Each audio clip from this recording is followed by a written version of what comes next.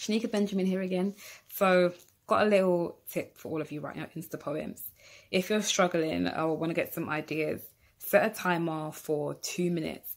And for two minutes straight, write whatever you think or feel about the book you've chosen. Any words used to describe it, anything you think of it, any character names, but don't stop writing for those two minutes. Just whatever comes to your head, how random it is, then underline those things highlight those things and weave those words and phrases to create a poem.